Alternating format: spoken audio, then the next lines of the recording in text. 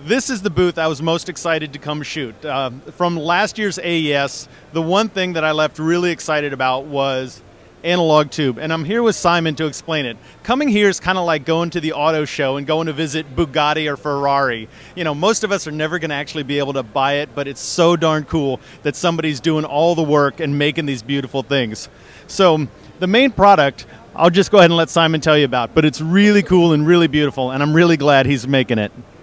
Thank you very much. Uh, very nice to see you again. The, the, the, product you see here spent five years in development, um, was launched at the San Francisco uh, AES last year in October, and uh, I, it's very much in keeping in the spirit of the classic, uh, classic elect- electronics that was around during the 1950s, and it's been kept deliberately that way because uh, I didn't want to build it any, any other way, and I didn't want to take anything away from it. I didn't want to add anything to it. I just wanted to build it as it was 50 years ago. And uh, what we have what, what we have here is um, uh, a classic representation of that technology that was around then.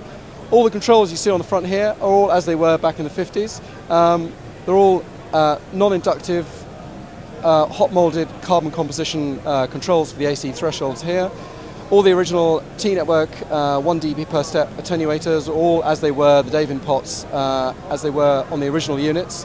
All the Grayhill switches we can see here um, the attack and release times are all exactly the same um, as they are for all the uh, uh, metering uh, and balance controls uh, switches here, which are also incidentally um, Grey switches. Um, it's a beautiful sounding piece of equipment, not least because it has a very specific application. And in, a, in a console sense, in a recording studio, will allow the user to add dimen dimension, depth, clarity, um, and uh, in a vocal sense will allow you to bring the vocal back up into the mix by adding uh, gain makeup onto the board and ultimately making the vocal louder but still retaining all the top end and all the air and all the bottom end that you expect from an original unit. And uh, I'm actually looking at setting up a demo to get to try one of these myself, and I hope I don't like it too much in person.